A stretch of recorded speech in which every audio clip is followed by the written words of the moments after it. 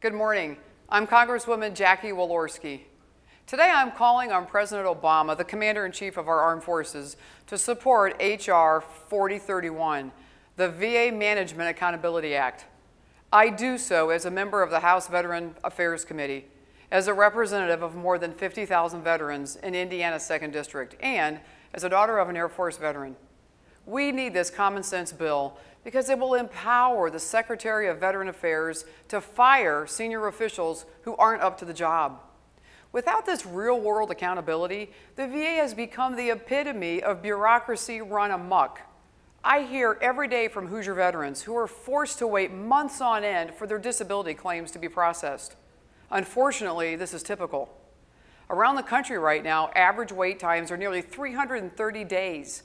Even worse, this backlog has been associated with the deaths of thousands of patients waiting for their paperwork to clear.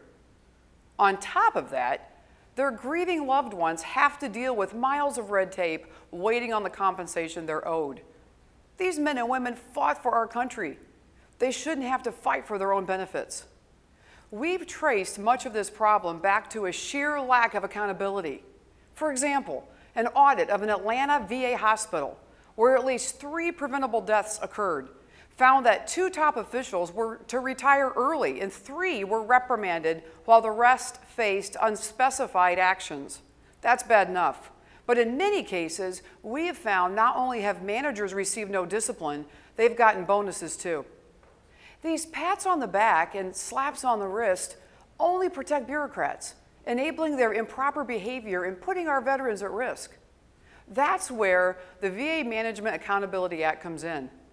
This bill will give the VA secretary the authority he needs to fix things. He'll be able to clear out those who helped make this mess and bring in people who will clean it up. Otherwise, all the reform in the world won't help. No, this bill won't solve the backlog, but it's a big step in the right direction. As we speak, this bill is under consideration by our committee, where it continues to pick up bipartisan support. Already, we've received the backing of House Speaker John Boehner and key organizations like the American Legion, Concerned Veterans for America, AMVETS, and Iraq and Afghanistan Veterans for America. Today, we're reaching out to the President and to all Americans. Because each of us has a stake in solving this problem.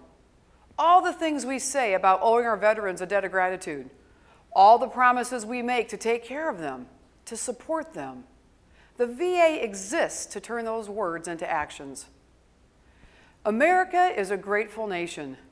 We cannot allow anything or anyone to get in the way of that. The words veteran and backlog should never appear in the same sentence. Together, let's make that our mission and let's go to work.